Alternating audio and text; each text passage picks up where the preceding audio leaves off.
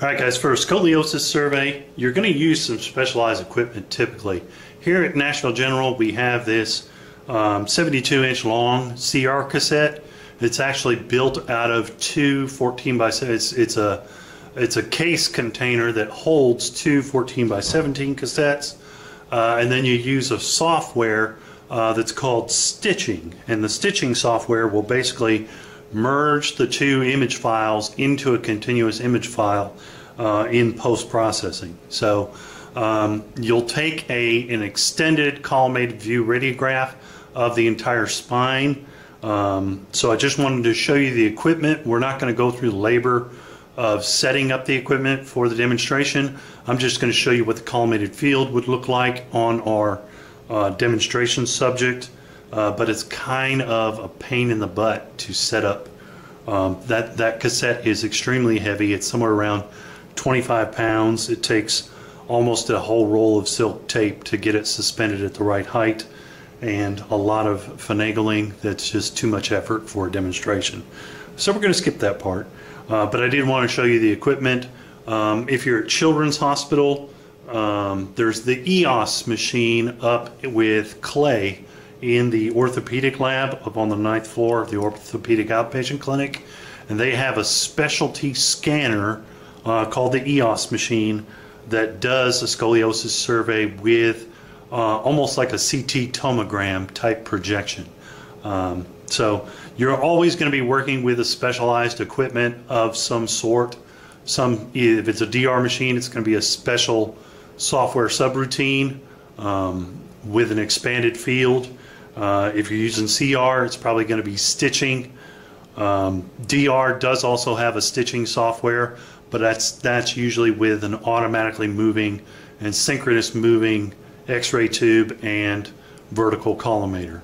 Uh, so I have seen that GE has that software package where you set up, you you show them where the top of the exposure field is, and then you show them where the bottom of the exposure field is, and then it takes two or three projections with a vertical digital receptor and then merges them automatically into a single image uh, with that stitching software. So uh, let me pause real quick and then we'll set up and show you what the collimated view will look like. All right, so this is our scoliosis uh, AP projection. Let me turn the light on. Where are we centering to? Well, we're not really worried about the crosshair. We're worried about the top and the bottom of the exposure. So look at where the top of the leg goes. It goes right through her jaw and just under the EAM. Um, now, you remember for the AP axial projection of the C-spine, you won't see C1 and C2, so it's okay to clip them off on your scoliosis projection. Bring the top of the leg field right through the mandible with the mandible elevated just slightly. You're going to get C3 through C7, good enough. Keep the light field open all the way through the thorax, all the way to the bottom of the pelvis. Okay? So the collimation should end inferiorly at the trochanters, should extend superiorly all the way to the angle of the jaw, the gonion. Okay? Now, why are we open side to side so wide? Well, because with the scoliosis evaluation, uh, the radiologist also has to account for uh, a tipped or canted pelvis. So if the pelvis is sitting obliquely as the patient is standing straight up, um, then that, that degree of obliquity of the pelvis, that's due to different leg length, um, and that's actually subtracted away from the degree of curvature of the scoliosis. Not only that, but with scoliosis means abnormal lateral curvature, we can't comb in tight side to side because we might actually clip uh, part of the vertebral bodies as they curve laterally side to side through the torso. Okay, so patient standing straight up, just like you would pose them for an AP C-spine or AP axial C-spine, uh, but the center is determined as the halfway point between the bottom of the pelvis and the bottom of the jaw. Okay. Now, what kind of exposure you're going to use here? You're probably going to use a lumbar spine technique okay? Because we have to worry about adequately penetrating through the SI joints, uh, L5, um, and uh, the lumbar spine region. That's a thicker bony anatomy.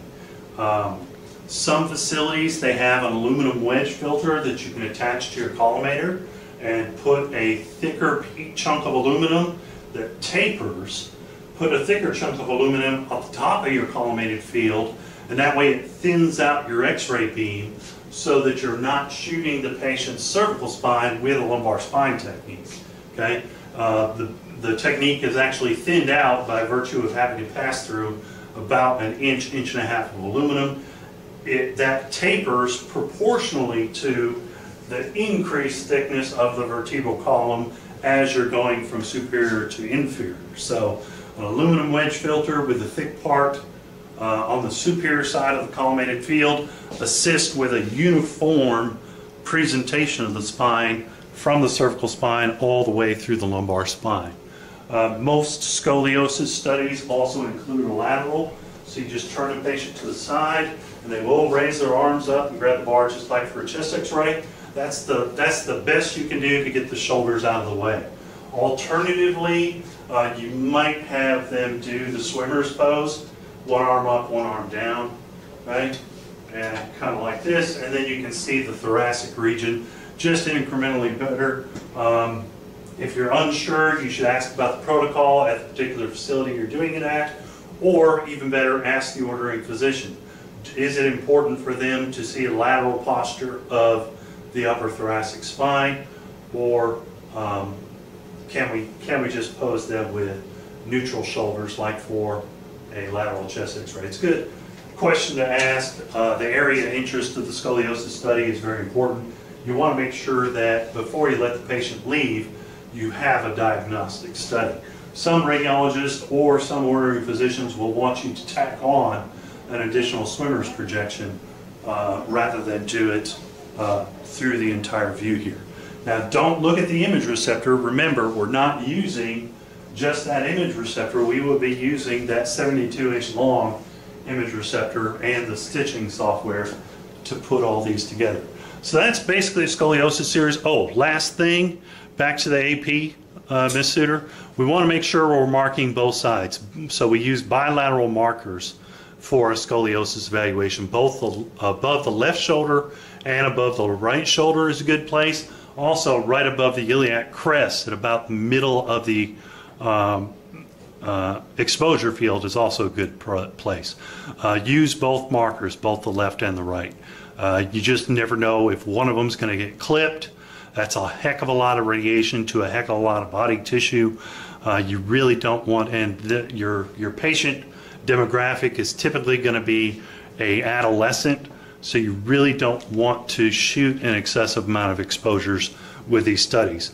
Try to keep it to just two exposures, one PA, one lateral. Take your time with it, set it up well, make sure that you're going to get all the anatomy, use a good technique, and then you won't have to worry about repeating either of the projections.